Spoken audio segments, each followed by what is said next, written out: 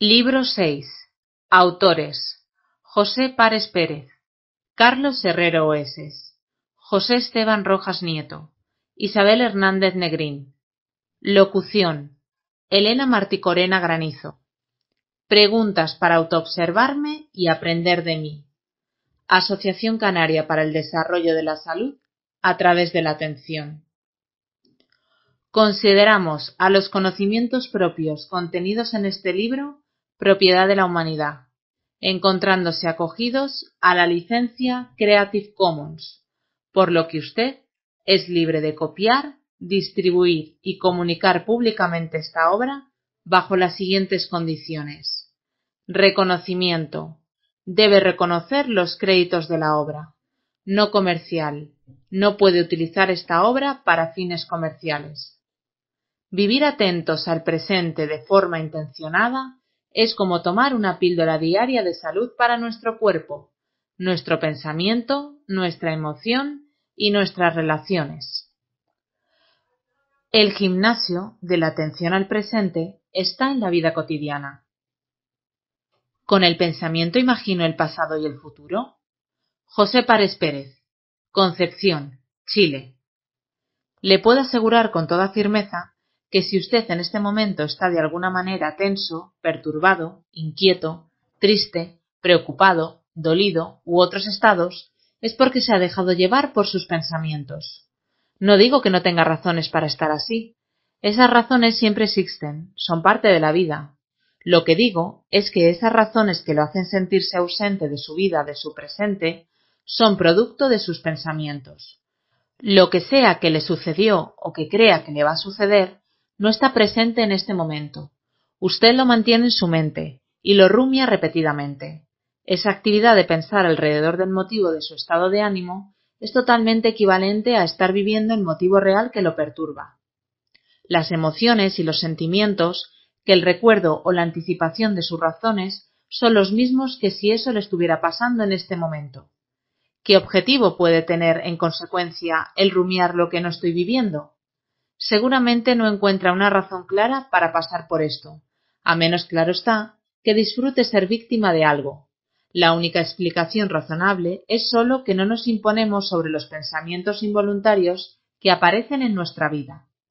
Nos distraemos de lo que estamos viviendo, y nuestra mente se deja llevar por pensamientos relativos a lo que nos ha afectado recientemente o a lo que anticipamos que nos puede pasar. Jamás se insistirá en demasía respecto a que no hay nada mejor para nuestra salud mental, psíquica o corporal que vivir lo que estamos viviendo, ya sea que esté donde quiero estar o estar quizá donde no me gusta estar, esté haciendo lo que me gusta hacer o haciendo lo que me desagrada hacer.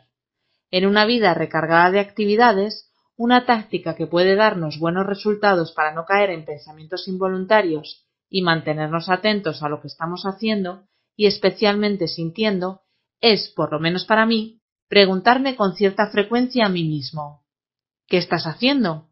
¿Por qué lo estás haciendo? ¿Por qué vas a aprender la televisión? ¿Por qué caminas tan apurado? ¿Por qué no detienes un minuto lo que haces y te observas dentro? ¿Qué sientes? ¿Dónde? Y mil preguntas más que le harías a alguien con el que tienes mucha confianza, pero que desconoces casi completamente, ya que cada día, cada hora, eres diferente. Conéctate con el presente que eres tú. Date cuenta que muchas veces estás feliz y no tienes idea de ello porque te distrae la ausencia de sufrimiento. Son momentos escasos pero maravillosos, la mejor fuente de salud. ¿Qué siento cuando vivo en piloto automático? Isabel Hernández Negrín, Las Palmas de Gran Canaria, España. Vivir distraído es como hacerlo con el piloto automático. Veamos cuántas cosas hacemos mientras pensamos en otra cosa. Nos levantamos por la mañana, nos aseamos, desayunamos, trabajamos en la casa, caminamos, conducimos, parcialmente en el trabajo, almorzamos, fregamos, vemos la televisión distraídamente, hablamos, cenamos y nos acostamos. Todas estas actividades comunes solemos hacerlas mientras pensamos total o parcialmente en otra cosa. Todo el día, ¿Qué sucede como consecuencia de vivir así? Agitación física, ansiedad, cansancio, comunicación superficial, irritación, sensación de sinsentido, impulsividad y tantas cosas más. Todo lo vivimos de manera muy superficial, con prisa porque siempre tenemos en el pensamiento las próximas cosas que hemos de hacer en lugar de la que estamos haciendo.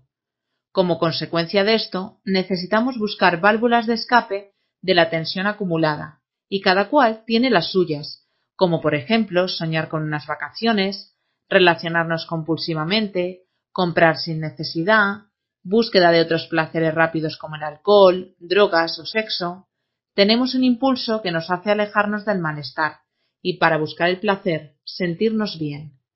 Al vivir distraídos nos sentimos mal y luego, para compensarlo, hacemos otras cosas, si podemos, para sentirnos mejor. O sea, que vivimos saltando del dolor al placer como en un péndulo. Ese péndulo tampoco nos hace sentir muy bien que digamos, y nos deja un cierto gusto amargo de la vida que llevamos. Vivimos en el hacer y nos alejamos del ser. Quizás alguno hasta lea estas letras buscando un pequeño placer, que se quedará en eso si no hace nada diferente con su vida. ¿Podemos salir de este péndulo? Pues claro que sí. Solo necesitas tener la clara convicción de que el péndulo no te conviene, y después aprender a detectar, darte cuenta, de que entras en el modo de hacer automático, distraído, una vez que logras darte cuenta, no hagas nada, solo siente tu cuerpo, tu respiración, como si fuese lo único que hay en el mundo. Observa esas sensaciones con curiosidad y sea amable contigo, porque no tienes que llegar a ningún sitio, solo estar contigo, no olvidarte de ti en esa carrera diaria. Pruébalo muchas veces antes de pensar que esto es una tontería. No te importe si piensas que haces algo raro. Solo hazlo y repítelo en tu día a día. Quizá descubras que puedes vivir de una forma diferente, saliendo cada vez más del modo automático. Cuando te levantes, siente tu cuerpo. Cuando te duches, siente las sensaciones. Cuando comas, atiende a los sabores. Cuando caminas, siente tu cuerpo, tus pies y tu respiración. Cuando estés en la cola del supermercado, date cuenta si te impacientas. Siéntelo y déjalo pasar. La intención y la atención son como un interruptor que te hará pasar de un estado al otro. Es un buen comienzo transformador, seguro. Usa el interruptor. Está en tu mano. ¿El apego a lo que creo sobre mí me impide aprender? José Párez Pérez. ¿Qué pensarías si te dijera que somos muy distintos a lo que creemos que somos? Creería que estás a punto de empezar una de esas tertulias tuyas sobre los átomos y esas cosas. ¿Y si así fuera, te molestaría? No, porque es entretenido, pero no trates de hacerme cambiar, pues estoy muy bien como estoy. Amigo mío, nadie es el mismo tras un instante de vida. Todo cambia permanentemente a velocidades increíbles. Estás permanentemente llegando al puerto de ese momento para zarpar nuevamente hacia otro momento. No dejes que el paisaje que te acompaña en tu viaje por la vida sea siempre el mismo. Si lo observas con atención, verás que la realidad, el mundo que te acompaña a cada instante, está cambiando. Tienes mucho que aprender de la vida. Nunca has experimentado la vida a la edad que tienes hoy. Nunca verás dos veces el mismo río. ¿Ves? Tal como yo suponía, estás intentando cambiarme. Yo no quiero cambiar, pues me gusta mucho mi vida tal cual es. Tengo mis cosas, claro, pero son mías y me conozco perfectamente. No me falta nada y no quiero nada más. ¿Te puedo pedir un favor? Por supuesto, dime. ¿Me puedes insultar? ¿Qué? Insúltame. Trata de ofenderme diciéndome algo que creas que me hará sentir ofendido. ¿Pero cómo? No, no puedo hacer eso. Somos amigos. No. No, no lo haré. Insisto. Tú tienes un carácter rudo, y cuando alguien te molesta, se las cantas clarito. Solo te pido que cuando me insultes te pongas atención para que te des cuenta qué sientes al hacerlo. Ya vamos, insúltame y obsérvate. Más de alguna vez habrás querido decirme algunas verdades. Ya que insistes, pero no, no puedo. Vamos, hazlo. Eres un cargante. Me tienes cansado tratando de cambiarme. ¿Cómo te has sentido? Muy mal. No te puedo mirar a los ojos ahora. No sé cómo te pude hacer eso. Cuando hiciste esto, no estabas en las mismas condiciones que cuando te enfadas rutinariamente. Ahora pudiste actuar como siempre, pero sintiendo lo que estabas haciendo y hacerlo te dolió más a ti que al que ofendías. Estos contrastes son los que marcan una belleza y una lección. Hay mucho más en la vida para ti. Conócela, ilumina tu sentir. Ningún momento es igual a otro. ¿No hay rutina? ¿Encontraré la paz resistiendo mi violencia? Isabel Hernández Negrín. Primero, ¿cómo puedo resistirme, rechazar o luchar contra mi violencia? ¿Qué quiere decir eso? Se me ocurren un par de formas. Primera, negando sencillamente la idea de que yo sea una persona violenta. Puedo incluso apoyar iniciativas de acciones no violentas, pero no ser consciente de que yo emprendo acciones violentas, simplemente porque no etiqueto como tales a mis enfados, desprecios, humillaciones, críticas, ofensas, faltas de consideración, etc. No es esta una violencia que llegue a los golpes y quizá ni siquiera eleve la voz. Pero si somos honestos, en el trasfondo existe el impulso de hacer daño y defendernos del otro, y eso es violencia. Es la forma más escondida de violencia, su ignorancia. De esta ignorancia pueden salir pensamientos como que te controlo porque te quiero, te presiono por tu bien, me enfado para que aprendas, te doy un golpe para que te endereces. Se mezcla el ejercicio de la violencia con las buenas intenciones. Como en el dicho, la letra con sangre entra, pero no por eso deja de ser violencia. Partiendo de esa actitud, podemos justificar casi cualquier atrocidad porque la justificamos con algo que parece un bien. Segunda, cuando conocemos que tenemos esos impulsos violentos y hacemos sobre ellos un juicio moral, negativo, claro. O sea, nos juzgamos mal por tener esos impulsos que reconocemos. Aquí no hay ignorancia, pero sigue habiendo violencia interna. Yo me enfado con alguien, luego me juzgo mal, me siento culpable por hacerlo, me odio por no ser capaz de controlarme, etc. En todo ese circuito hay violencia, externa e interna, y la intención de querer anularla por la vía de reprimirla, no mostrarla. Hay algunas variantes sobre este caso. Cuando sé y reconozco mis impulsos violentos y decido hacer algo para encontrar la paz. Quizás se me ocurra hacer yoga, cursos de relajación, talleres de atención o autoconocimiento, pero no he sabido conectar con mis emociones y creencias con la sencillez necesaria y de forma directa como para observarlas amablemente sin represión ni juicios morales. En este caso, le atribuimos a la propia actividad que hacemos la capacidad de producir el cambio esperado, una especie de varita mágica para encontrar la paz. Creo que para muchos de ustedes estará claro que cuando somos ignorantes o equivocamos la dirección de nuestro esfuerzo, la paz no se manifiesta realmente, pero es preciso seguir practicando como lo hacen los niños, como un fin en sí mismo, no persiguiendo el fin en la paz. Perseguirla como un fin nos encadena de nuevo a la violencia. Es como jugar a la oca. Si caes en la casilla equivocada, vuelves a la casilla de inicio. Pero tranquilos, en la vida cada vuelta nueva siempre nos da la posibilidad de aprender y crecer, afinando la intención y la actitud adecuada. Y como siempre, esa elección está en nuestras manos. Estaremos en paz cuando podamos reconocer la violencia en nosotros, observarla sin juicios morales ni deseo de cambiarla y elegir una actitud nueva y diferente. Prueba. ¿Alguien más que yo puede comprender mi realidad cambiante? José Párez Pérez. El universo, del que somos una de sus millones de maravillosas manifestaciones, es, en su más íntima naturaleza, cambiante a velocidades inconcebiblemente altas. Al igual que todo en la naturaleza, la vida es cambio, transformación. Nos es muy difícil observar algunos de los cambios más profundos en nosotros. No así en nuestros cambios corporales y psíquicos. En este último terreno, el psicológico, es donde los cambios los podemos notar instante a instante. Los especialistas en el estudio de la realidad de nuestro sistema nervioso aún no se ponen totalmente de acuerdo respecto de nuestra realidad psicológica.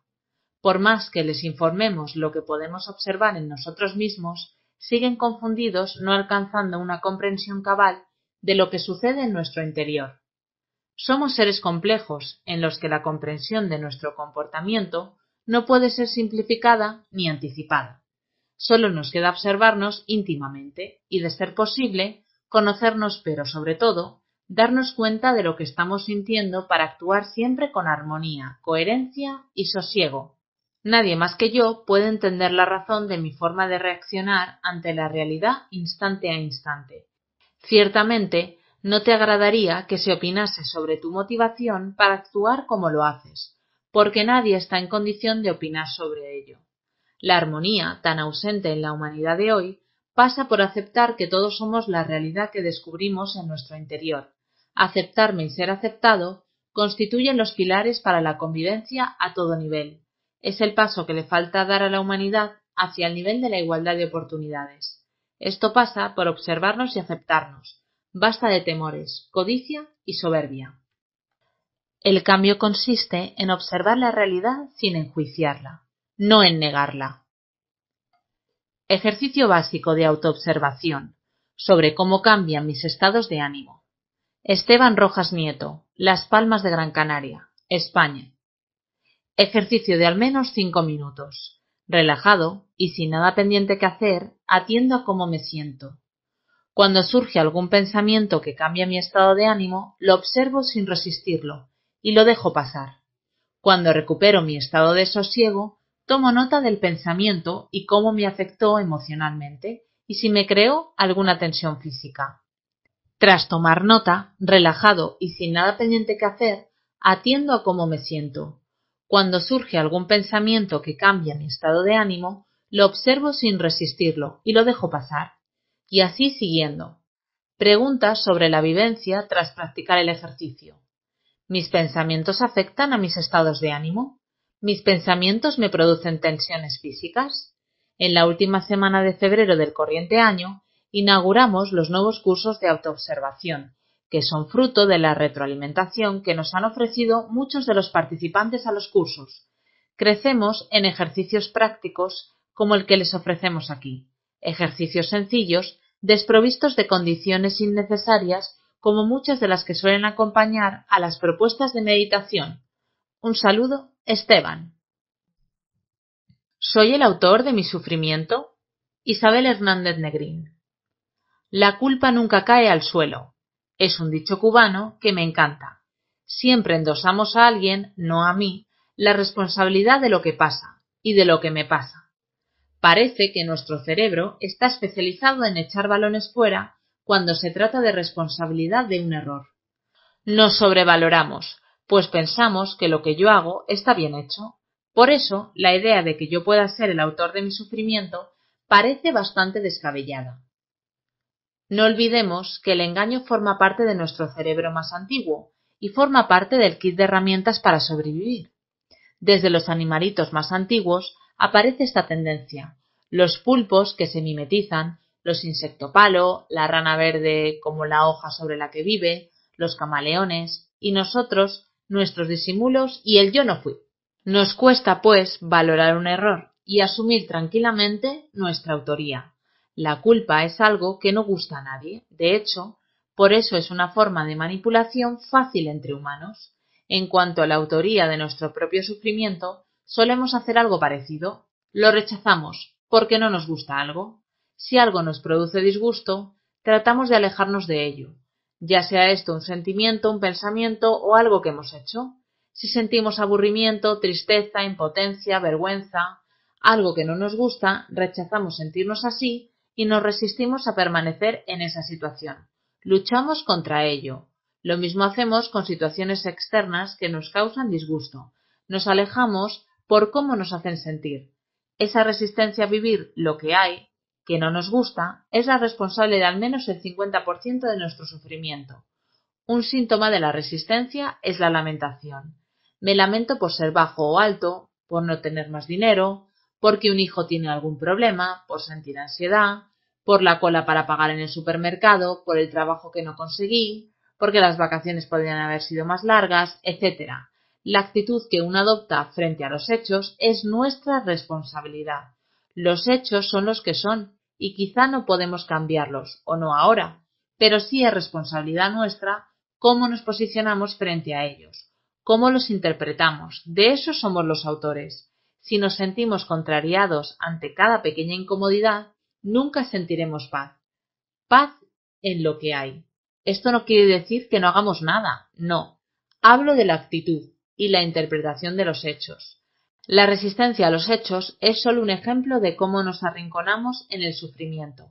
De ahí salen otros muchos males, y mientras actuemos así, perdemos nuestra libertad, pues siempre podemos elegir nuestra actitud.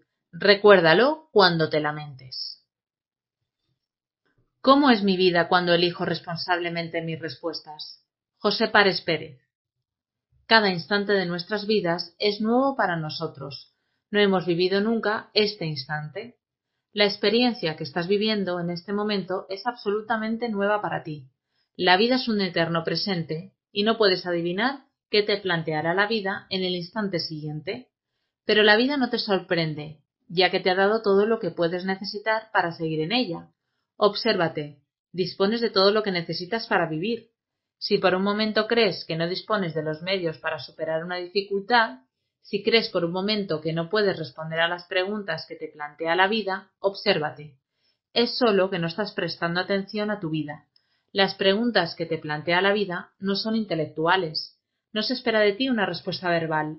Tus decisiones en cualquier momento de tu vida son tus respuestas. Si estás presente en tu vida, si estás en permanente contacto contigo mismo, descubrirás que la única forma de vivir la vida, la única forma de contestar responsablemente sus preguntas, es otorgarle un sentido a tu vida. En otras palabras, asumir tu responsabilidad con la vida toda es vivir en armonía, con coherencia y en sosiego. Elige responsablemente las respuestas que das a la vida, y la vida florecerá en ti. No busques ni esperes nada, solo sé y ya verás. ¿Las creencias sobre mí me impiden aprender y comprenderme? Carlos Herrero Hueses, Navarra, Chile. Las creencias no dejan de ser pensamientos que damos por ciertos sobre experiencias pasadas. Son parte del pasado, subjetivas y muy personales. Reflejan los hechos de una manera reducida y filtrada por cada persona. Las creencias pueden abarcar muchos ámbitos como religión, política, uno mismo, sobre otros, la vida, relaciones, etc. Sobre un hecho, cada persona puede tener una creencia distinta. No hay más que ver la sociedad en la que vivimos. Ante cualquier acontecimiento, la cantidad de opiniones, discusiones y actitudes que se generan. Por otra parte, el aprendizaje y la comprensión solo pueden darse en el presente. ¿Podemos hacerlo hace cinco minutos? El verdadero aprendizaje se da en el instante presente si estamos atentos. En lo que se refiere a mi propio aprendizaje y comprensión, no puedo basarme solamente en mis creencias, ya que si lo hago, estaré anclado al pasado. Debo tomar las creencias como lo que son, y abrirme a toda la información que hay en el presente. Por poner un ejemplo, Creo que soy malo gestionando mi ansiedad. Si me baso en esa creencia, seguiré siendo malo y nada cambiará. Sin embargo, si tomo esa creencia como un pensamiento que no tiene por qué ser real, me puedo abrir a experimentar esa ansiedad con la intención de hacerlo, sin juicio y con curiosidad. ¿Cambia la experiencia si lo hacemos? ¿Puede cambiar mi creencia? Incluso cambia mi ansiedad. ¿Resistirme a lo que soy me desorienta haciéndome sufrir? Isabel Hernández Negrín. Muchos de nosotros hemos sentido rechazo por algún aspecto propio. Quizá pensamos que no somos buenos para algo, o simpáticos, o aptos para un trabajo, o demasiado alto, o bajo, poco agraciado, etc. Nos repetimos esos pensamientos negativos y terminamos creyendo que realmente hay algo malo, inaceptable para los demás. Es ese temor al rechazo de los demás lo que hace que nosotros acabemos rechazándonos y no queriéndonos lo suficiente. Nos comparamos con otros o con los modelos que están en boga de ese momento y en cada ámbito de la vida. Si nos parece que en la comparación salimos desfavorecidos y eso es importante para nosotros, nos hace sufrir. Rechazarse a uno mismo es un error fundamental que podemos cometer. Lo digo por experiencia. A veces sucede y apenas nos damos cuenta del porqué del malestar e incluso culpamos a otros de ello. Si no se tiene en consideración una idea mía en el trabajo, puedo sentirme mal, porque me lo he tomado a nivel personal. No valgo. En lugar de tratar de comprender que la idea no soy yo. Quizá no la presenté adecuadamente, quizá no sea un buen momento para su puesta en marcha, quizá no ponía el acento en lo que era preciso, etc. Podría preguntar el motivo del rechazo para apuntar mejor o directamente desecharla. Pero si me tomo un rechazo de forma personal, Nunca aprenderé a mejorar mis acciones o sencillamente a sentir afecto por mí, confundiendo los detalles con lo que yo soy. Pero los juicios de los demás no son lo más importante. Lo serio es que yo interprete que esos juicios responden a mi realidad y los adopte como una definición de mí mismo. Si creo firmemente en la veracidad de los juicios negativos que hago sobre mí, sufriré sin remedio. Me apartaré de los hechos y me quedaré con interpretaciones negativas que me llenarán de inseguridad y malestar. Viviré tratando de ocultar aquello que creo que me hace inaceptable para algo y eso es muy estresante. Frente a esto, no nos juzguemos como si fuéramos culpables de algo. Eso sí, me parece básico estar atentos a que juzguemos todo lo que presenta y que nos juzguemos a nosotros mismos sin fundamento real, que cuando lo hagamos nos sonriamos por habernos descubierto en ese vicio mental poco saludable y sigamos adelante conquistando nuestra vida a cada paso, sin darle energía a ese pensamiento. Si vivieras en una isla desierta, ¿crees que te juzgarías tan severamente? Quizá al principio te lamentarías de tu situación. Nunca he subido a un árbol, me da vértigo subir a la altura, pero en cuanto apretase el hambre, aprenderías rápido a hacer cosas que antes creías imposibles para ti, atenderías a tus necesidades y te dejarías de juicios que en nada ayudarían a su supervivencia y a tu salud. Así que, ¿por qué no hacerlo desde ahora? Al vivir ensimismados la vida se nos escurre entre los pensamientos involuntarios. José Párez Pérez. El tiempo que pasamos absortos por los pensamientos involuntarios suele ser de gran importancia. Es muy frecuente que nos dejemos llevar por la divagación, Suele sucederse una cadena de pensamientos sin control de parte nuestra y en las cuales no ponemos atención alguna. Entonces no se trata solo de una pérdida importante de tiempo, aunque usted considere que esta distracción le acompaña de cierta forma en sus momentos de soledad. Por lo general, ese tiempo invertido para acompañar su soledad no le produce ningún beneficio. Por el contrario, esos pensamientos que usted no controla suelen producir tristeza, angustia, temor, deseo, apego, etc. La vida es maravillosa, la relación humana puede ser maravillosa, pero disfrutarlas exige estar presente en la vida, estar presentes en la relación. La ensoñación es una forma de huir de la vida. Dejarse llevar por los pensamientos involuntarios implica que usted no quiere disfrutar el momento presente. Disfrutamos lo que sentimos, no lo que pensamos. Pensamos sobre los recuerdos que el pasado nos trae pensamos sobre los deseos que tenemos para el futuro. Cuando siente, está siempre en el eterno presente. Disfrutar la vida significa sentir lo que estás viviendo, y ello exige su presencia en la vida.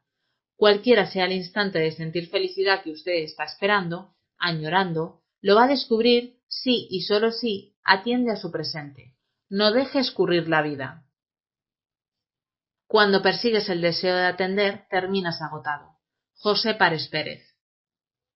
Siempre que persigues el deseo de algo que no tienes, terminas agotado, y eso no se debe solo al esfuerzo que debes hacer para lograrlo, se debe principalmente a que tu actitud durante la búsqueda de algo que no tienes es de violencia contigo mismo, por no estar satisfecho de no tener lo que buscas. No te consideras completo por no tener aquello que buscas, te estás rechazando a ti mismo, no te aceptas tal cual eres. La actitud de insatisfacción por cómo me siento es agotadora, cuando lo que buscas es parte de lo que ya eres y lo ignoras, la búsqueda es adicionalmente infructuosa. Si persigues el deseo de atender a lo que no experimentas interiormente en ti, estás persiguiendo algo que ya tienes, el deseo de atender. No persigas nunca un deseo, persigue lo que deseas, atender, y eso también lo tienes. Simplemente atiende. Lo único que te falta es la intención de atender a lo que percibes. Sientes, piensas o haces en el momento presente. Todo momento, todo lugar, toda condición tuya son adecuados para atenderte. Solo se requiere tu intención de hacerlo. No importa de cuánto tiempo dispongas para ello. Dedica el tiempo del que puedas disponer. No busques nada en tu interior, solo observa lo que aparece. No lo nombres, no lo enjuicies, solo obsérvalo. Practícalo y verás a poco andar que te sentirás muy lejos del agotamiento. ¿La esperanza posterga la sensación de problema que deseamos resolver? Isabel Hernández Negrín. Según la Real Academia de la Lengua Española, la palabra esperanza significa estado de ánimo que surge cuando se presenta como alcanzable lo que se desea. Si bien la esperanza de ánimo ante situaciones adversas, cuando ésta no va asociada a un sentimiento de confianza en uno mismo y en el propósito, sumado en una acción coherente, es poco útil. Se me ocurre que es como esperar que te toque la lotería sin haber siquiera comprado un boleto. Así pues, mejor ponerse manos a la obra en lugar de esperar que la diosa fortuna escuche nuestra plegaria. Como dice un dicho español, adiós rogando y con el mazo dando. La esperanza por sí sola no solucionará nuestros problemas, solo los postergará. Y no solo eso, sino que la inútil espera vamos perdiendo la energía y va creciendo la impotencia. La esperanza sin acción es una forma de no asumir la propia responsabilidad, dejando en manos de otros o de algún milagro el logro del propósito. Si tienes la esperanza de que algo se produzca, fíjate también en las acciones que emprendes para hacerlo realidad. También conviene poner atención en la viabilidad de nuestras esperanzas, porque tener anhelos fuera de las posibilidades razonables nos dejará en un estado de ánimo lamentable. Si concluimos que algo no está en nuestras manos, pues toma una decisión y ponle punto y final a esa esperanza. Será un alivio. Cada paso que damos en la vida trae su propia enseñanza y no hay mejor aprendizaje que aquel que nos nace de las experiencias que vivimos. José Párez Pérez. La vida es increíble la cantidad de calificativos que solemos usar para la vida. Para calificar nuestra vida solemos usar cualquier vocablo según cómo nos sintamos, adjetivos, sustantivos, pronombres, etc. Sucede que calificamos con frecuencia en nuestras conversaciones aquello que está repetidamente en nuestro entorno, y la vida es todo para nosotros, no somos sin ella. Es lo que somos, pero nuestra distracción nos hace calificarla muy livianamente. Es imposible separar la vida de lo que sea que necesitemos mencionar. Somos lo que hemos vivido. Soy lo que vivo y así será mientras viva. No hay gesto, paso, sonrisa, lágrima, palabra que no haya nacido de lo que soy, de mi vida. No hay percepción recibida mientras vivo que no haya sido almacenada y que no afecte de algún modo mi vida.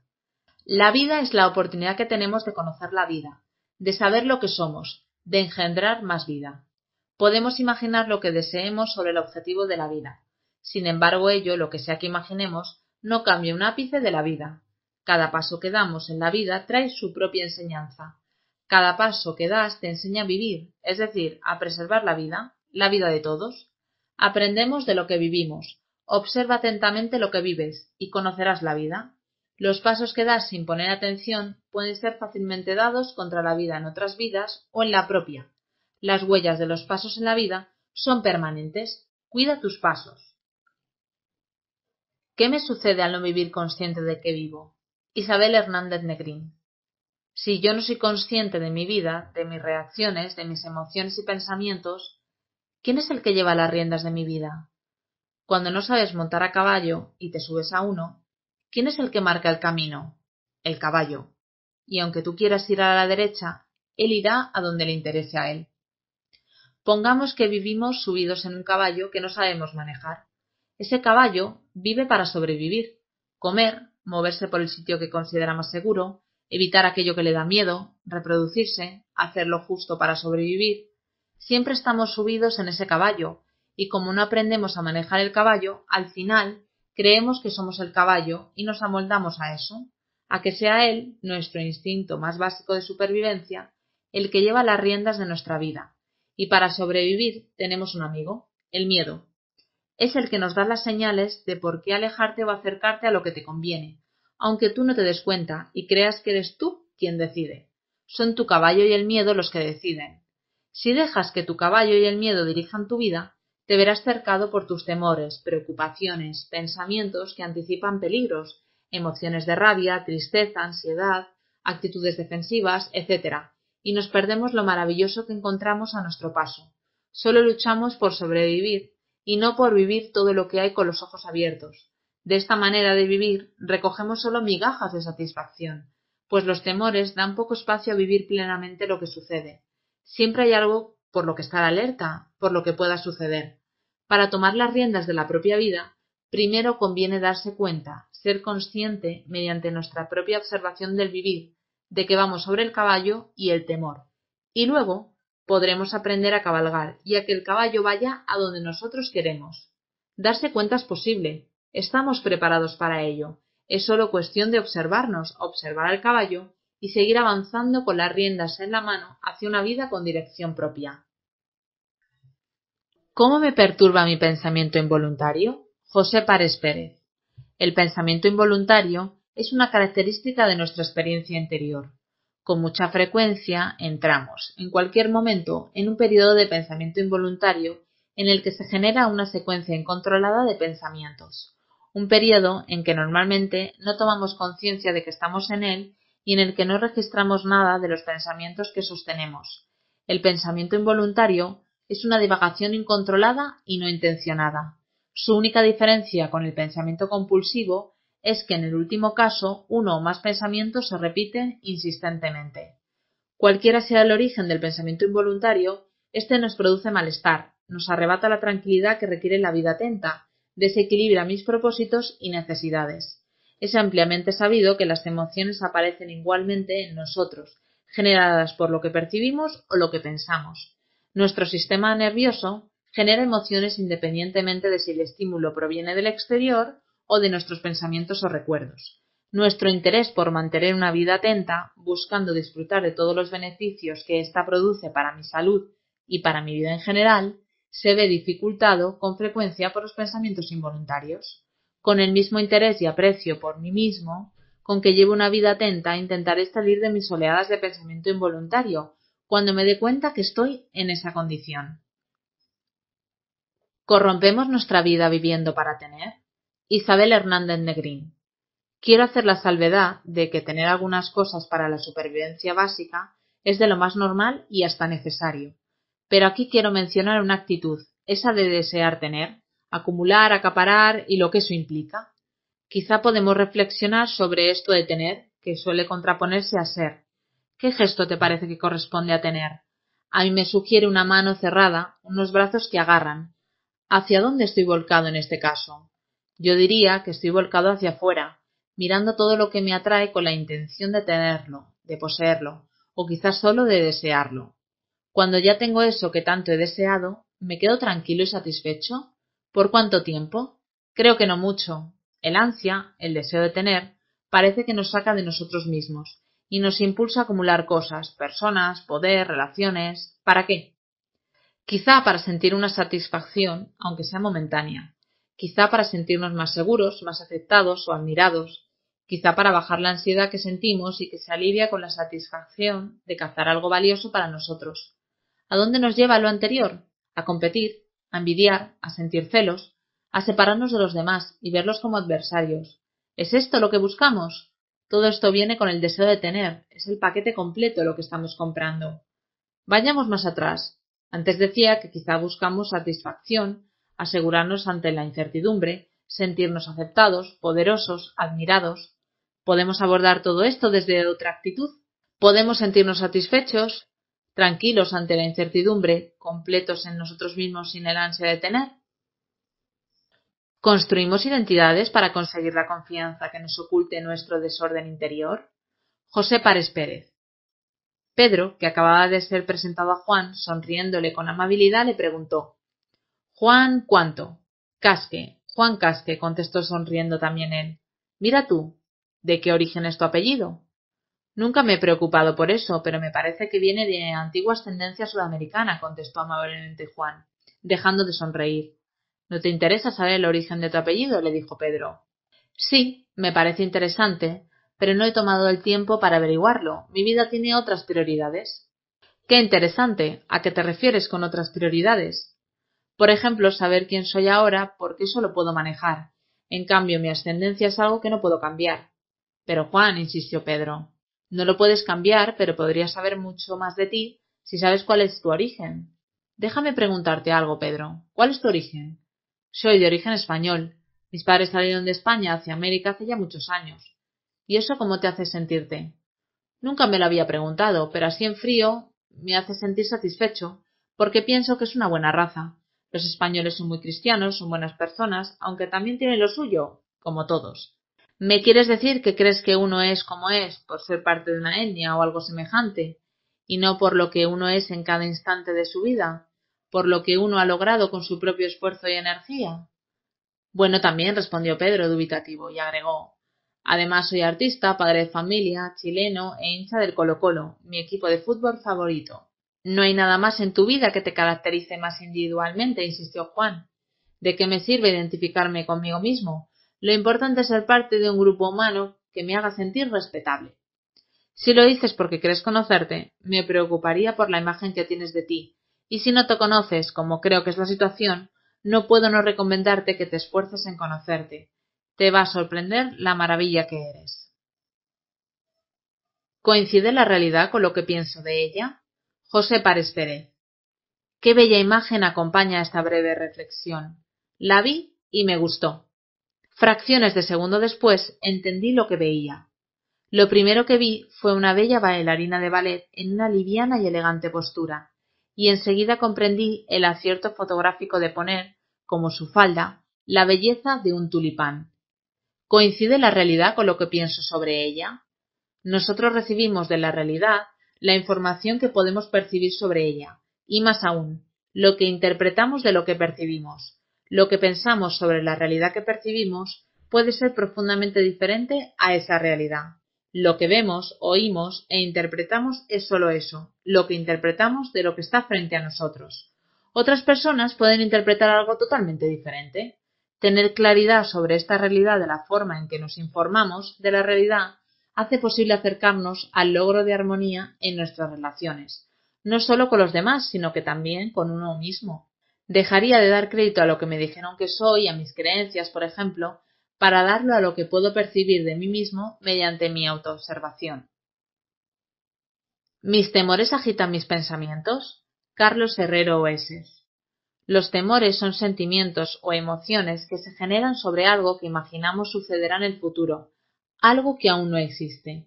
Imaginamos y proyectamos cosas que pueden ocurrir o no, no lo sabemos, pero que nos perjudican en nuestro presente, en nuestra vida. Como dice la célebre frase, mi vida ha estado llena de terribles desgracias, la mayoría de las cuales nunca sucedieron. Una cosa es la planificación y el estar preparado para algo, y otra bien distinta es estar en una constante preocupación. Hay que diferenciarlos del miedo, que es una emoción natural de algo que ocurre en el presente. Es real y sirve para nuestra supervivencia. Nuestros pensamientos buscan seguridad, anticipación, certeza y respuestas rápidas. Como no las pueden hallar en el futuro ya que no existe, comienzan a agitarse, entrar en bucles negativos e imaginarse los peores escenarios posibles, lo cual nos genera angustia y ansiedad. ¿Podemos solucionar, resolver u ocuparnos de cosas que aún no existen? ¿Sabemos con exactitud lo que va a ocurrir en el futuro? Si me preocupo en exceso, me ocupo dos veces, una cuando el objeto de preocupación sea real en el presente y otra todo el tiempo anterior al hecho. ¿Cómo tendré más recursos? ¿Si me ocupo o si me preocupo y luego me ocupo? Si nos mantenemos atentos en nuestras vidas, nos daremos cuenta de que cuando aparecen preocupaciones insanas y excesivas que nos limitan la vida y nos perjudican, las podremos reconocer como tales y dejarlas marchar. Así permaneceremos con más claridad y fortaleza cuando tengamos que enfrentar los obstáculos inevitables de nuestras vidas. Cuando pensamos demasiado sobre un problema, ¿lo solucionamos o nos creemos que lo solucionamos? ¿El apego a mis recuerdos me distrae del presente? Isabel Hernández Negrín. Si prestamos un poco de atención lo que hace nuestra mente, ¿Te das cuenta de que con la persona con la que más conversas es contigo mismo? Ya sea explicándote cosas que pasaron o sobre cosas imaginadas del futuro. Te estás siempre hablando desde el momento en que dejas de hacer alguna actividad que requiere toda tu atención. Es como si viéramos la película que proyecta nuestra mente, nuestro cine particular. A veces son cosas intrascendentes y otras son cosas que nos han dejado preocupados. Esos episodios que nos han dejado una marca emocional muchas veces vuelven, y parece que le tengo hasta cierto o mucho apego. No hay más que ver cómo se repiten. Esto es muy notorio en personas mayores que pueden repetir los mismos temas de su pasado en cada conversación. Sin embargo, aunque nos parezca que eso es propio de personas bastante mayores, las menores mayores también lo hacemos, ya sean recuerdos agradables o desagradables nos acompañan siempre como si estuvieran pegados a nosotros, como un pegamento de larga duración. Puede que echemos de menos tiempos mejores o que temamos que se repitan unos malos momentos. La cosa es que su permanencia nos crea un determinado estado de ánimo, añoranza o nostalgia, preocupación o temor, y este condiciona lo que hacemos, lo que planeamos, nuestra visión de mundo, de nosotros mismos. A base de repeticiones acaban formando parte de nuestra identidad, y llevamos una vida condicionada por ellos. Vivimos distraídas por unas imágenes antiguas y nos perdemos la vida que hay fuera de ellas, en el momento presente. Nuestra distracción permite que vivamos ensimismados fuera del presente, en el que parece que no nos queremos incluir. Rechazamos la vida que llevamos e impotentes nos refugiamos en nuestro cine. Cuando no me gusta la vida que llevo, bien sea porque creo que perdió algo o porque temo lo que pueda suceder, no estoy viviendo, no estoy aprendiendo, no veo lo nuevo que aparece con su gracia y su belleza, ni emprendo un nuevo camino. No dejes que los recuerdos orienten tu vida. Dales permiso para esfumarse. Date la oportunidad de ver tu vida con ojos nuevos, sin nostalgia y sin temor, o a pesar de ellos. Puedes levar el ancla de tus recuerdos y navegar cara al viento de la vida, y no en la cueva del pasado. Es mucho más saludable y te sentirás mucho mejor. ¿Buscarme en los atributos de otro no funciona? José Párez Pérez. ¿Cómo se siente en este amanecer? Si ha tenido la oportunidad de observarse y lo ha hecho, tendrá una respuesta clara a esta simple pregunta. Por ejemplo, en este momento está sintiendo ganas de caminar por un bosque solitario, o quizá tenga deseos de conversar con alguna persona que pueda ayudarle en su confusión, o finalmente escribir sobre lo que le inquieta. Lo que sea que usted esté sintiendo en este instante es su vida. Su vida es este instante, y solo usted puede conocer su vida, lo que vive en este momento no está en ningún libro ni en ningún mapa. Es su vida con millones de detalles que la diferencian de las vidas de los demás. Usted no siente en este momento lo que sintió ayer, ni lo que sentirá mañana. Usted es usted en este instante y el paso que está dando. El observarse que ha hecho en este amanecer es el único camino para ser usted. Su decisión de este instante es solo suya. Lo que sea que decida hacer está bien. Viva este momento con tranquilidad porque cuando ha decidido de esta manera lo que vive, no hay duda alguna que está decidiendo con coherencia y con armonía, por el sosiego que genera su autoobservación.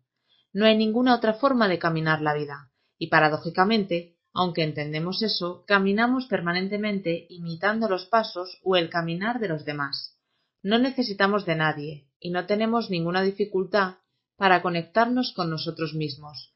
La vida nos ha dado todo lo que pudiéramos necesitar, si he tomado las medidas necesarias para describirme a mí mismo, no necesito de nadie más que ser yo, para ser mi vida.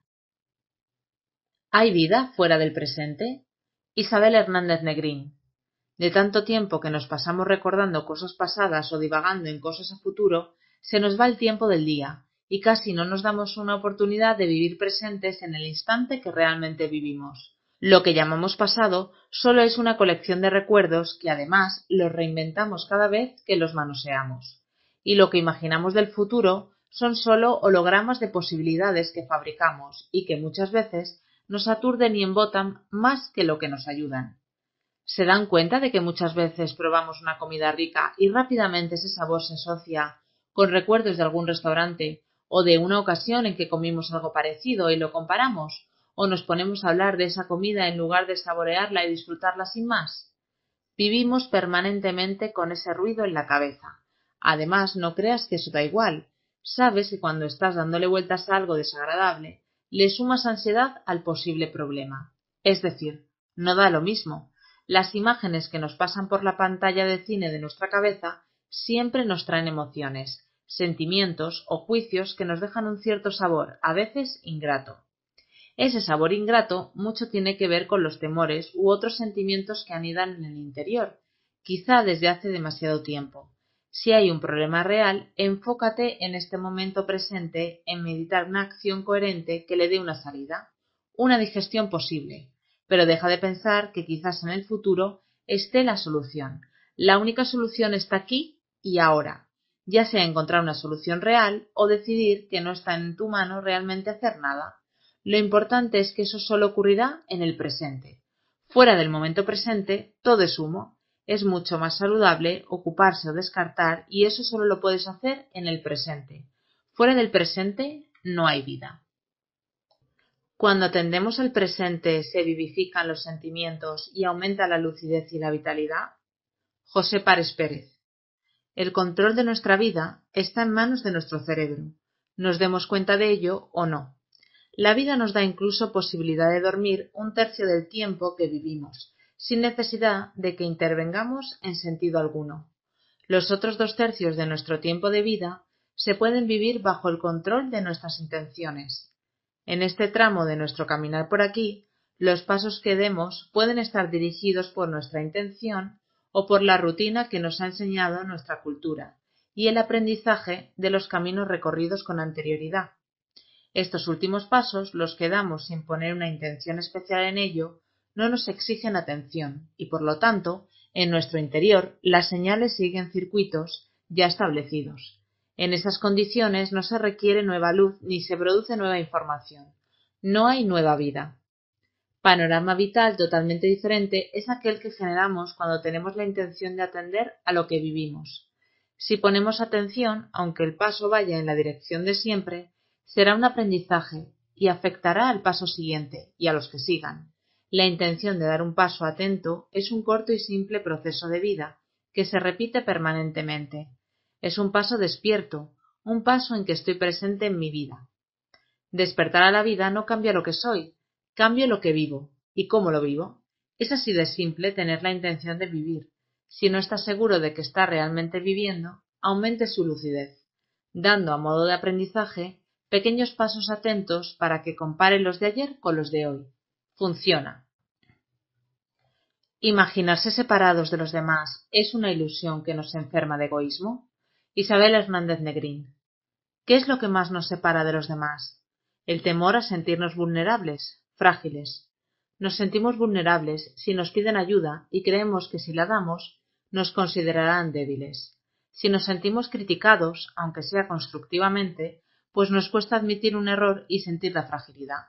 Si nos niegan algo, pues creemos que nos lo merecemos todo. Si escuchamos opiniones diferentes de las nuestras, pues eso sería sentirnos débiles si nos proponen retos ante los que no nos sentimos capaces y tememos quedar avergonzados. Puedes reconocer en ti algunas de estas situaciones y verás que en todas ellas está el temor a ser vulnerables. Este temor nos lleva a estar siempre en guardia ante los demás. En este estado no estamos dispuestos a perder nada, ya sea material, dinero u otros bienes o inmaterial, la imagen que tengo de mí, que me deja más vulnerable. Desde esa actitud acumulo todo lo que percibo, bienes, éxito, relaciones, admiración de los demás, poder. ¿Ves? Pues que todo esto no son sino muestras de una conducta egocéntrica que nos separa de los demás, de los posibles adversarios que nos pueden hacer algún tipo de daño. Si no te temiese perder y sentirme frágil, ¿para qué querría acumular todo tipo de cosas? Deseo sentirme seguro movido por mi temor a la fragilidad.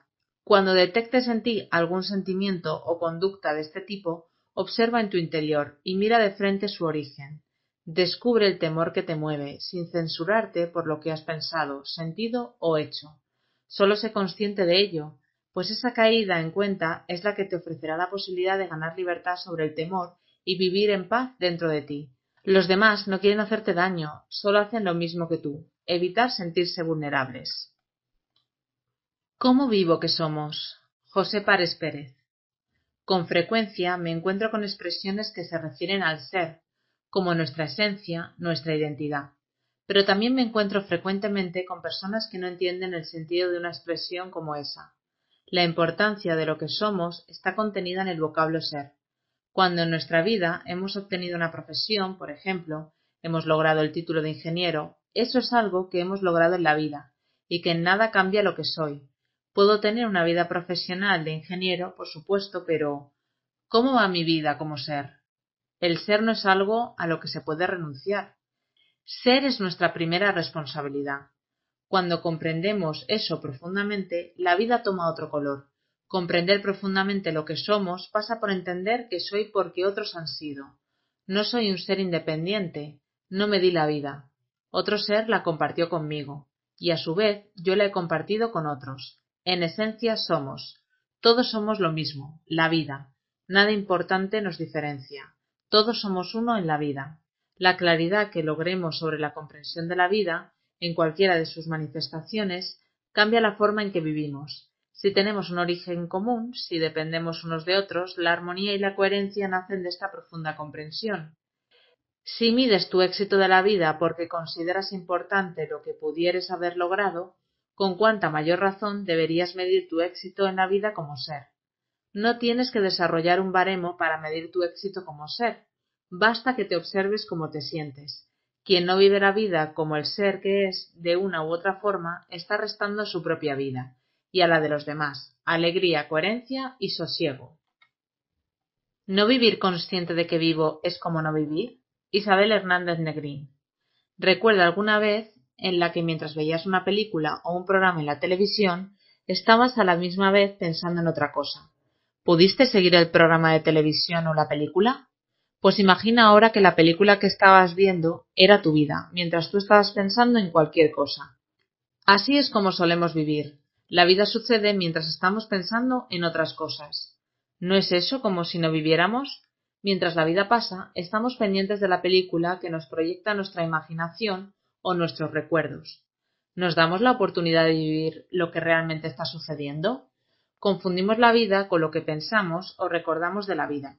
El pensamiento no es el hecho, el pensamiento no es lo que te está pasando. Recuerda la de veces que vas a un lugar y recuerdas muy poco del camino que hiciste. ¿Dónde estabas? Tu cuerpo estaba ahí, pero ¿el resto de ti mismo? Date cuenta durante este día de las veces que estás viendo tu propia película mental en lugar de estar en lo que estás. ¿Cuáles son las consecuencias de autoengañarme al buscar justificarme?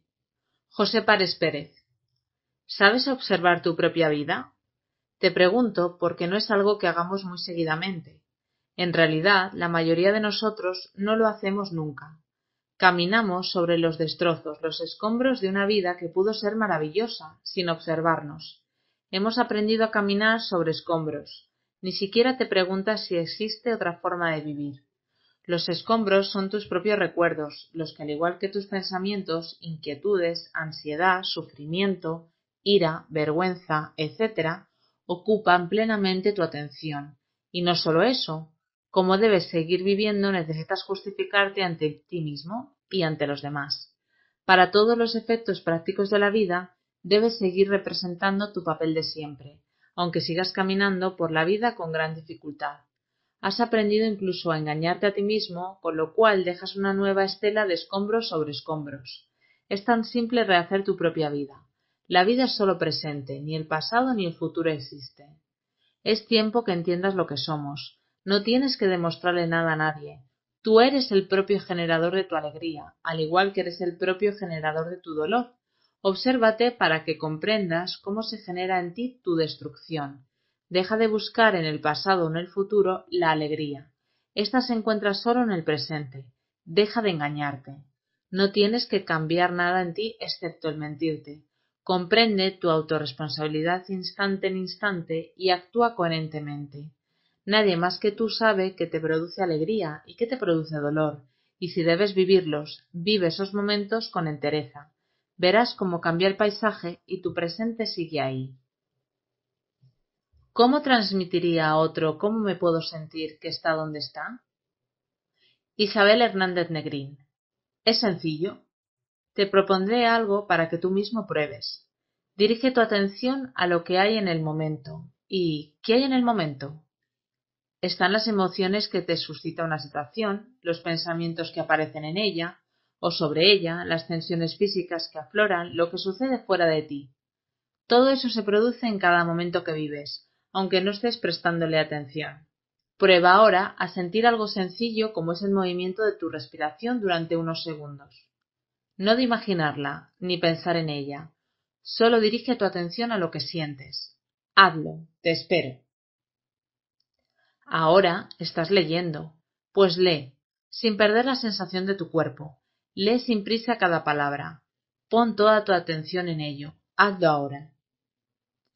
Toma un papel y algo para escribir.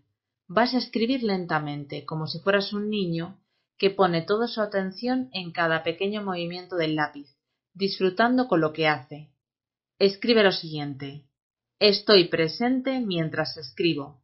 Hazlo. Quizá, ante estas propuestas, hayas pensado qué tontería. Pues esto es un pensamiento que puedes observar y que forma parte del momento.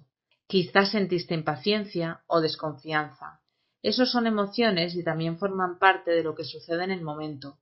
Puede que hayas sentido tranquilidad o curiosidad, y también ha formado parte de lo sucedido en ese momento.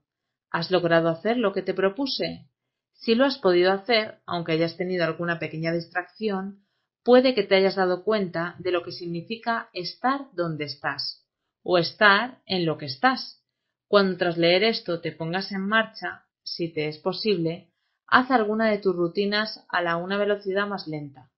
Meter la llave en la cerradura, cerrar un grifo, ducharte y procura estar donde estás. Prueba a hacerlo regularmente. Estoy segura de que notarás una diferencia que jugará a tu favor. La paz interior es gratis, pero crearla depende de cada uno. José Párez Pérez. En muchas ocasiones en mi vida pierdo la paz interior porque usa de una interpretación errada de lo que percibo. Esto es un hecho muy repetido en todos. La paz interior, al igual que la felicidad, no es algo que logremos sostener permanentemente. Es algo que podemos construir nosotros mismos prestando intencionadamente atención a lo que sentimos. Lo que percibimos pasa el fin del lugar por un filtro interior que decide si eso nos agrada o no. Es inevitable que mucho de lo que percibimos no nos agrade, sin embargo es una decisión nuestra cómo reaccionamos al desagrado. Nuestra paz interior depende de esa decisión. Si nos resistimos a lo que percibimos porque no nos agrada, damos por perdida nuestra paz interior. En cambio, si aceptamos aquello que percibimos como parte de lo que somos, continuaremos en paz. Todo lo que necesitamos vivir permanentemente en paz, aunque nos parezca totalmente imposible, es estar suficientemente atentos al momento presente con la intención de darnos cuenta cuando lo que percibimos amenaza nuestra paz. ¿Conocernos es un paso necesario para lograr la paz? Isabel Hernández Negrín. Muchos pensarán que unas buenas vacaciones serían suficientes para estar en paz. Sin embargo, a la primera discrepancia con alguien sobre si vamos a visitar esto o lo otro, podría surgir un conflicto que nos saque de la ansiada paz. Cada uno imaginará alguna forma. Si no tuviera que trabajar, si tuviera más dinero, belleza, una casa cómoda, amigos, familia. Sin embargo, en los ejemplos anteriores, hacemos depender nuestra paz de elementos externos que no pueden estar dentro de nuestras posibilidades, o incluso, teniendo todo eso, podemos no encontrar paz en nuestro interior. Buscamos la paz interior en cosas externas. Vivimos quizá demasiado volcados al exterior y dirigidos por imágenes que nos prometen paz, felicidad o seguridad si vistes de una cierta forma, si conduces cierto automóvil, si tienes tal pareja o si compras tal perfume, si adelgazas o si engordas. ¿Podemos sentir paz de forma que solo dependa de uno mismo? Yo diría que sí, Quizá podríamos empezar por estar un poco con nosotros mismos, sin ansiar nada, sin buscar nada, sin ponerle energía a los pensamientos que te invitan a hacer algo, sin ponerle energía a emociones pasajeras, solo estando contigo, porque tú no eres las cosas pasajeras con las que te distraes. Conocerse a uno mismo puede empezar por estar en lo que estás, es decir, si limpias los platos, hazlo con toda la atención en eso, si conduces, haz solo eso, sin pensar en otras cosas si descansas, presta atención a las sensaciones de tu cuerpo sin engancharte en nada más. Si hablas con un amigo, pon tu energía en esa relación y no en lo que harás luego. Si juegas con un hijo, atiende a él sin pensar que podrías estar haciendo otra cosa. Incluso cuando tienes un trabajo delante que no te agrada mucho, puedes tranquilizarte si dejas de pensar que no te gusta y que podrías estar en otro lado. Podrías empezar por ahí, por estar donde estás y en lo que estás, intencionadamente presente en ti y en lo que tienes delante. Este breve comentario no puede ser un tratado sobre la paz y el autoconocimiento, pero sí intencionadamente te dispones a estar en lo que estás. Habrás comenzado algo importante que te dará pistas sobre ti y sobre la paz interna. Si te quedas solo con este comentario, no pasará nada, pero si decides hacer lo que te propongo, eso sí que será un paso en una dirección distinta Tú siempre decides cómo quieres vivir. ¿Resistirme a lo que siento disminuye mi vitalidad? José Párez Pérez. Me parece una magnífica forma de propagar las maravillosas consecuencias que tiene la práctica de la atención al presente contar las experiencias que uno mismo ha tenido al practicarla. Mi actividad hasta hace algunos años fue la de ingeniero químico con una dedicación que sobrepasaba los horarios normales de trabajo. Mi motivación nacía de un gozo natural y profundo de esa profesión, y especialmente del amor por la docencia. El agotamiento natural, producto de la edad, provocó un cambio profundo. Inicié la búsqueda de otra manera de darme. Muchas veces me sorprendí a mí mismo lamentando no estar en conocimiento de temas que importaran a los que me rodean. Se observa tanto sufrimiento, tanta angustia, tanta ansiedad. Mi propia ansia de actividad tras tanta vida dedicada al trabajo me llevó a la pintura, a la mueblería y a la lectura, buscando sosiego e información sobre lo que sucede dentro de nosotros, sobre lo que somos. No pasó mucho tiempo hasta que conocí de la atención al momento presente y a su principal divulgador, la Asociación Canaria de la Atención al Presente para el Desarrollo de la Salud. Allí entendí que en mí mismo, en mi territorio, y no en los mapas que la cultura ha puesto a mi alcance, está todo lo que necesito para vivir. Practicando la atención al presente durante estos últimos años, he recuperado mi vitalidad y una motivación que me llena de energía para vivir lo que soy. Como todo ser humano, he pasado momentos difíciles y he salido de ellos cuando entendí que los había provocado por no aceptar la realidad. Con frecuencia en mi vida, lo entiendo ahora, me resistía a sentir temor y ansiedad porque no me agradaba sentirme así. Rechazaba lo que sentía. Sentir eso y mucho más es parte de la vida. Si me puedo observar, darme cuenta de lo que estoy sintiendo, puedo entender que lo he producido con mis propios pensamientos. Darme cuenta de eso es el comienzo del fin de mi sufrimiento. Hoy me resulta extremadamente agradable poder darme a los demás mediante reflexiones y amenas conversaciones porque dispongo de temas que importan a la vida. Una actividad que llena mi tiempo de armonía, coherencia y sosiego. ¿Cuál es la importancia de la atención al presente? Isabel Hernández Negrín. Sabes que estás casi siempre pensando, censurando, justificándote, lamentándote, y todo eso mientras haces otras cosas. Estamos llenos de ruido por dentro y por fuera. Me atrevo a decir que el ruido interior es el que peor nos hace. Cuando hay mucho ruido fuera, no podemos escuchar lo que dicen los demás, pero cuando hay mucho ruido dentro, no nos escuchamos a nosotros mismos. Vivir distraídos de nuestra propia vida, prestando una atención mecánica y sugestionados por nuestras propias películas e historietas, no nos deja un momento de silencio. Silencio por dentro, ¿Te has dado cuenta de lo raro que es estar en silencio interior? Siempre hay un pensamiento, un juicio, un recuerdo, un deseo o una preocupación que atrapa tu energía y te enreda en él. Esa energía que le dedicas, automática e inconscientemente, se la quitas a escucharte a ti mismo. Cuando no nos prestamos atención vivimos arrastrados, secuestrados, por los estímulos y los cantos de sirena del exterior. Con un coche nuevo voy a ligar mucho, con una casa a mi gusto sí que seré feliz, cuando crezcan mis hijos me podré dedicar más tiempo. Cuando tenga bastante dinero estaré satisfecha. Si todos lo hacen, debe ser bueno.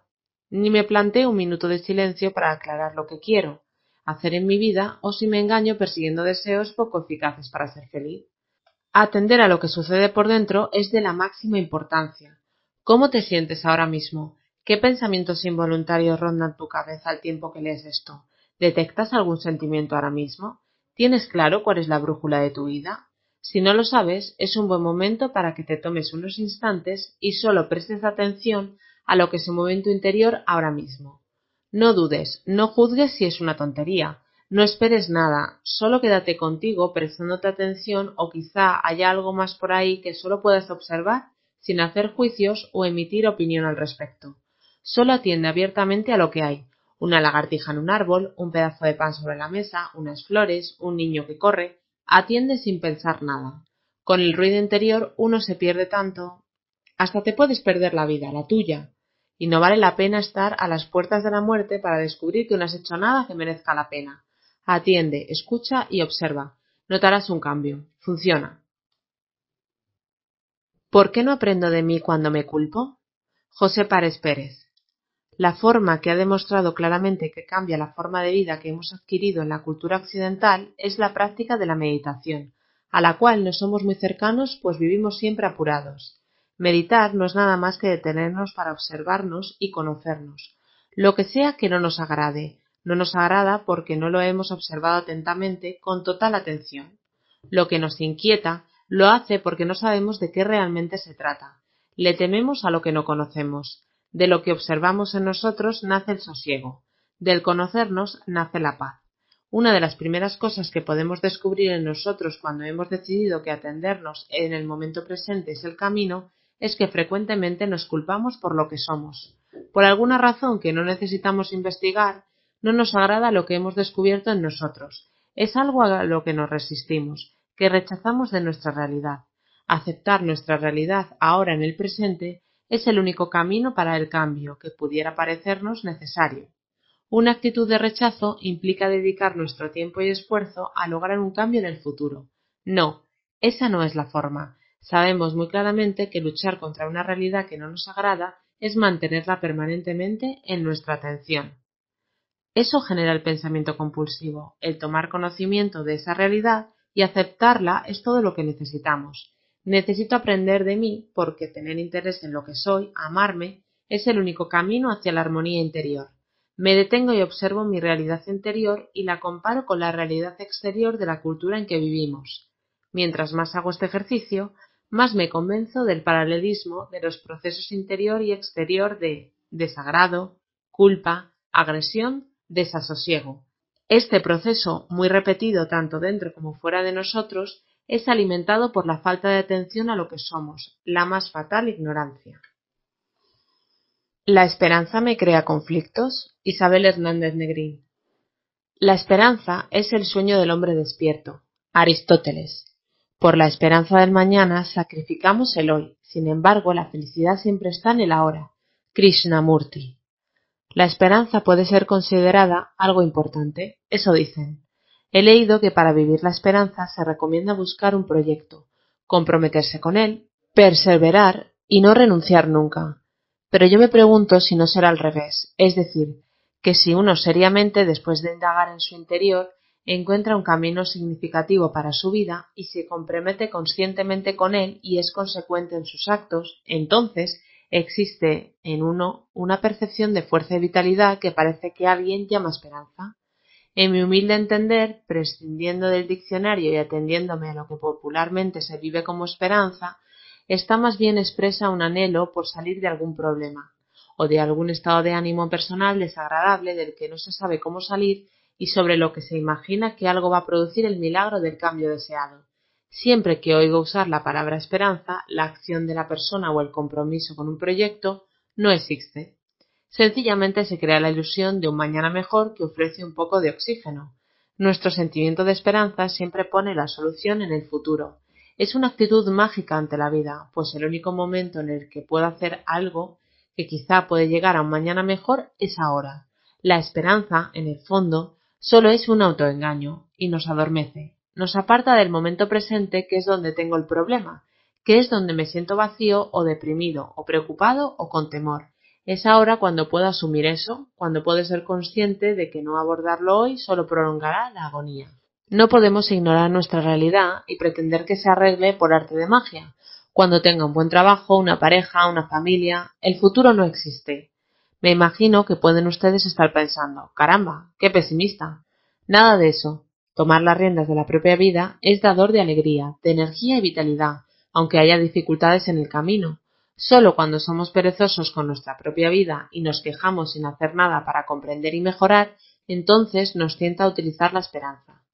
¿Tienes muchas esperanzas o tienes un proyecto de vida con el que te comprometes y perseveras, a pesar de las dificultades y las dudas? ¿Por qué huyo de mí cuando me busco? José Párez Pérez. Buscamos permanentemente. Es más, creo que somos los seres vivos más adictos a buscar. Raramente estamos satisfechos. En cierto sentido, eso ha sido beneficioso para la humanidad, ya que el no estar satisfecho es muchas veces la inspiración de la creatividad. No es posible desconocer el avance que ha tenido la humanidad gracias a su búsqueda permanente, pero también hay que reconocer que ese avance ha provocado una gigantesca e inadmisible desigualdad. La magnitud de esa verdad no puede desviarme del tema que traía, que es mi propia búsqueda. No cabe duda que nos hemos desviado en la búsqueda de nosotros mismos. Probablemente hay algo en nosotros que fomenta nuestro desvío. Esto que soy es el que piensa, el que siente, el que se admira, el que se alegra, el que teme y el que huye. Hay momentos en la vida de nosotros, los humanos, en que intencionadamente nos ponemos atención, nos damos órdenes a nosotros mismos para lograr un objetivo, cumplir un deseo, gustar a alguien. Empezamos a entender que hay alguien aquí que no posee todo lo que me gustaría poseer. Me percato de mis carencias para estar o sentirme siempre bien. Es un momento crucial en nuestras vidas. Se nos produce este momento en muchas, muchas oportunidades y sigue siendo un momento crucial. Andamos buscando aquello de lo cual creemos que carecemos y tenemos dos opciones. Lo busco fuera o lo busco dentro de mí. Con mucha frecuencia, cuando creemos que nos conocemos adecuadamente, no estoy satisfecho de mí mismo, no me gusto, algo que me falta, debo seguir buscando, y entonces la decisión se toma fácilmente producto de mi ignorancia. Busco fuera. No hay nada fuera de mí de lo que yo ya no disponga. Soy lo que la humanidad es. Dispongo de todo para lograr lo que mi naturaleza me sugiere tras el logro de mí de las características fundamentales de la naturaleza. Armonía, coherencia, sosiego. Nada, absolutamente nada en la naturaleza desafía estas tres leyes. El equilibrio es la esencia de lo que es, aunque a veces nos pudiera parecer que no es así. El reencuentro con el equilibrio puede ser a veces violento, pero se logra y la violencia desaparece. ¿Vivo consciente de que vivo? Isabel Hernández Negrín. Cuando caminamos por la calle solemos ir pensando sin querer. Si nos fijamos en las personas que nos cruzamos en el camino, podemos ver que van con la mirada pendiente de los estímulos externos o perdida, pensando sin querer en cualquier cosa y a veces hablando solos. Pocas veces vemos la mirada viva, alguien que camine con sosiego disfrutando del caminar. ¿Cuál es tu caso? Solemos vivir más bien de forma mecánica, impulsados por la prisa, por hacer algo en el futuro inmediato, algo que no está en el momento presente en el que estoy viviendo, si estoy trabajando, anhelo la hora de salir a tomar un desayuno, o fumar un cigarrillo, o la hora salida. Si estoy en casa haciendo la comida, anhelo terminar para sentarme a descansar. Pocas veces la mente está donde está mi cuerpo. Suele estar ocupada en recordar o en imaginar, pero nunca está en el momento presente. Mientras mi mente siga enredada en el pasado o en el futuro, de forma mecánica, seré poco consciente de lo que sucede en mí o alrededor, si estamos de acuerdo en que la vida es lo que sucede en el momento presente y que nuestra mente nunca está ahí, estaremos de acuerdo en que no somos conscientes de que vivimos. Vivir así implica ansiedad, tensión, depresión, etc. Es el precio de una mente poco educada en estar presente. Si en tu vida hay estrés, ansiedad, disgusto, quizá te vendría bien cuestionarte tu forma de vivir. Vivir consciente de lo que vives es una forma de apartarte del malestar que tú mismo te ofreces. Puedes empezar haciendo algo sencillo. Cuando camines, lleva tu atención a las sensaciones de tu cuerpo, tus pies, tu respiración, el aire o el sol sobre tu piel. Ponlo en práctica y observa los cambios. Puedes hacerlo si le pones atención. ¿Puedo observarme sin enjuiciarme? José Párez Pérez. Es impresionante lo poco que sabemos de nosotros mismos. Hasta muy mayor, concretamente hasta cuando en mi trabajo empecé a tener responsabilidad en la dirección de otras personas, como supervisor o profesor, nunca se me ocurrió mirar hacia dentro de mí intentando observar lo que sentía, y probablemente fue porque con frecuencia me percataba de que podría estar afectando los sentimientos de otras personas y ello hacía eco hacia mí. Nada formal, solo ráfagas en los momentos en los que me percataba que mi mano debía ponerse más pesada de lo normal, Nunca entonces y por mucho tiempo no discriminé entre observación y juicio ni sobre los otros ni menos aún sobre mí. Era una sola actividad, observar y decidir. Solo en estos últimos años, al comprender la importancia que tiene para el bienestar de las personas el estar informada de su realidad interior y decidir su accionar coherentemente con ello, es que me he preparado para separar claramente la observación de cómo me siento de la acción emprendida tras la observación He comprendido que toda la realidad aparentemente exterior a mí es captada e interpretada por mí. Ambas actividades pueden ser totalmente separadas si nos observamos atenta e intencionadamente. La sola observación de esas características nos lleva generalmente a no interpretar lo observado, una observación sin juicio, solo aprendizaje sobre mí o sobre los otros.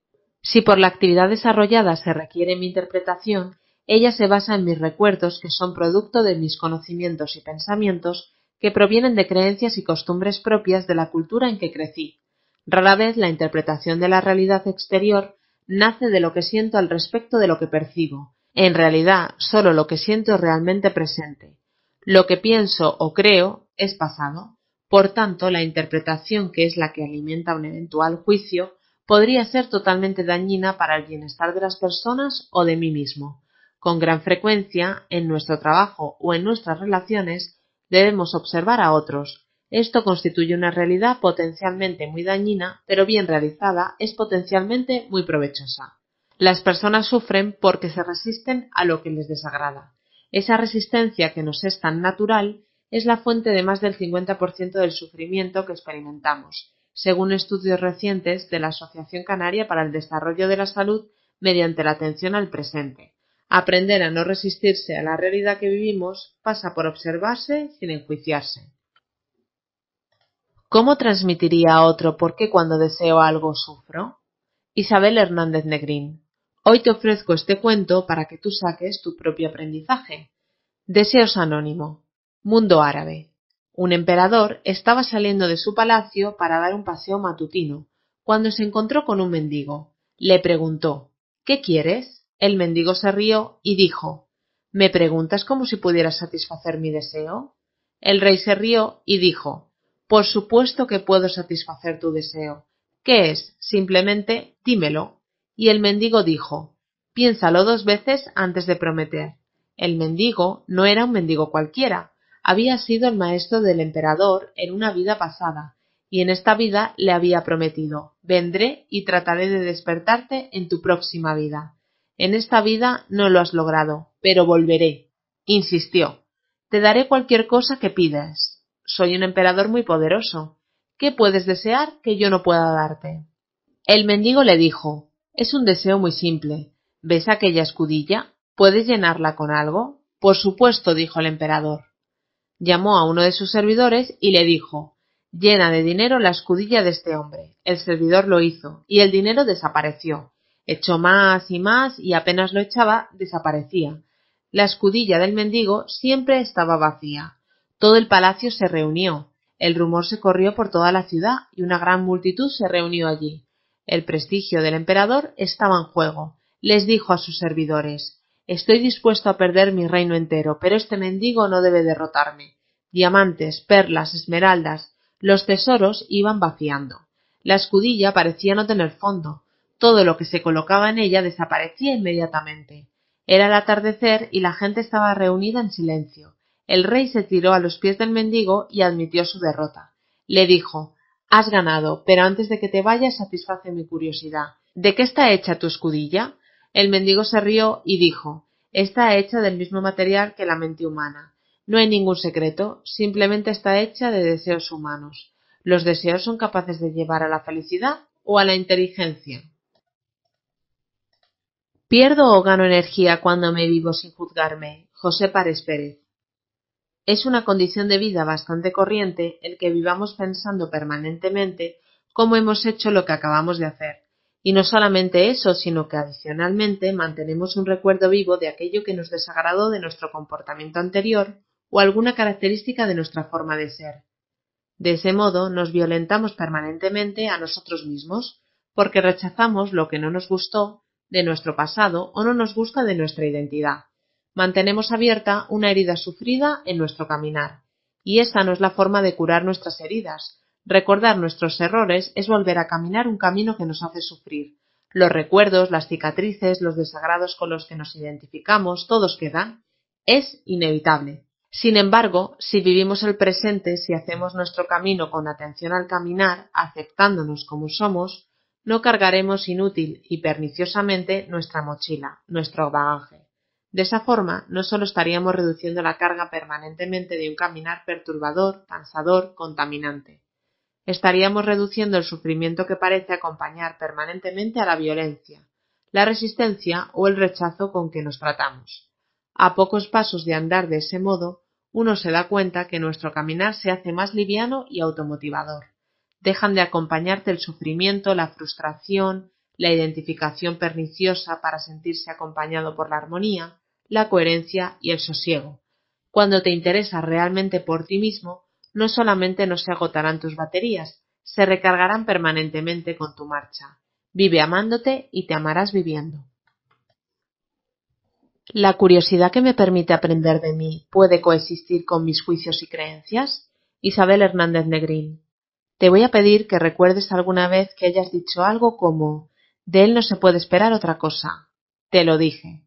Cuando uno dice algo así, está implícito que ya tengo un concepto formado, un juicio hecho y creo cómo es esa persona o esa situación. Eso nos pasa a todos. Los demás también se han hecho un juicio sobre ti. Quizá a través de algunos momentos en común ya creen saber cómo eres o lo que pueden esperar de ti, y seguro que tú no estarás de acuerdo con ese juicio, porque con cierta razón pensarás que esas personas no pueden conocerte bien, que nunca has hablado en profundidad, ni con la intimidad suficiente. ¿Crees que esos que ya tienen una idea de ti sienten curiosidad por saber más de ti y comprobar si hay algo más de ti? Cualidades, intereses, aficiones, habilidades, preocupaciones que ellos no conocen. Y no me refiero a ganas de cotillear. Posiblemente se conformarán con lo que ya creen saber y punto. La curiosidad, es decir, la intención de observar algo sin prejuicios, no es algo que abunde. ¿Para qué observar si ya creo que conozco? Ahí solemos funcionar.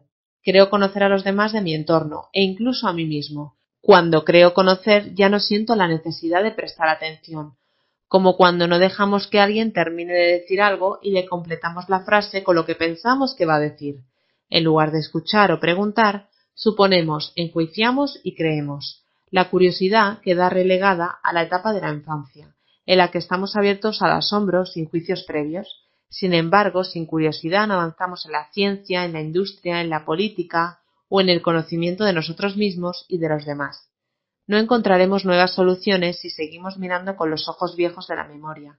Si te parece normal pensar que un científico que cree que lo sabe todo no podrá dudar para avanzar, ¿por qué tú crees que te conoces perfectamente cuando solo conoces tu superficie? Es muy saludable permitirte ser curioso, estar abierto, dudar de tus juicios, prejuicios, creencias sobre ti y sobre todo. Darse esa oportunidad nos permite conocernos en profundidad, sin censuras ni condiciones, ya que tenemos dos ojos y dos orejas. Dirige un ojo hacia afuera y otro hacia adentro, una oreja hacia los demás y la otra escuchándote a ti, con mucha curiosidad, dispuesto a asombrarte. ¿Me avergüenzo de lo que me disgusta de mí o soy capaz de reírme de ello? José Párez Pérez. Somos una opción de las infinitas opciones de que el universo dispone para sus creaciones.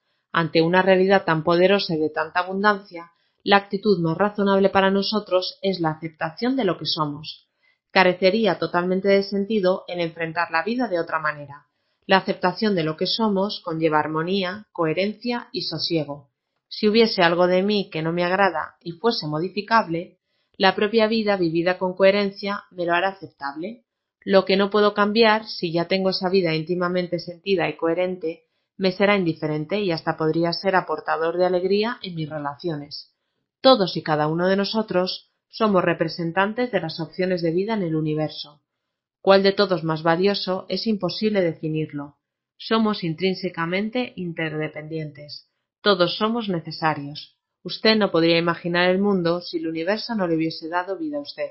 No me avergüenzo de estar aquí, veré un mundo muy oscuro cuando yo ya no esté en él.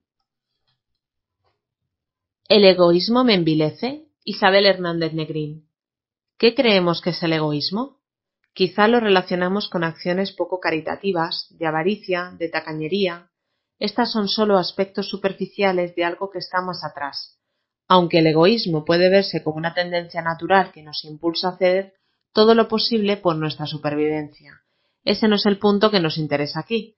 Cuando ese impulso natural se convierte en el centro de nuestra vida, ahí estamos en otra situación. En este caso, hago, valoro, censuro, me relaciono, etc., en base a mi bienestar personal. Aunque cueste creerlo, así es. Todo gira en función de mi bienestar y seguridad, implícitamente quiero que todo se acomode a mí. Lucharé en todos los ámbitos para que eso sea así, y esto me llevará a posturas y conductas poco o nada generosas con los demás. Yo te doy si tú me das. Si yo cedo, tú también. No compartir o mentir. Pensar mal de otros y muy bien de mí. Intolerancia, exigencias con los demás, relaciones por interés. Puede que después de leer lo anterior estés pensando en alguna persona horrible. Sin embargo, todos hacemos esas cosas, aunque nos adornemos bastante bien para no parecerlo incluso ante nosotros mismos? Curioso. ¿Qué hace que brote esa actitud egocéntrica? El temor. Somos animales que tememos lo que puede suceder y por si acaso algo fuera mal, nos vamos tratando de garantizar la seguridad en cada momento. El temor nos hace egocéntricos. Yo mimé conmigo. Fíjate cuántas veces empleas esas palabras.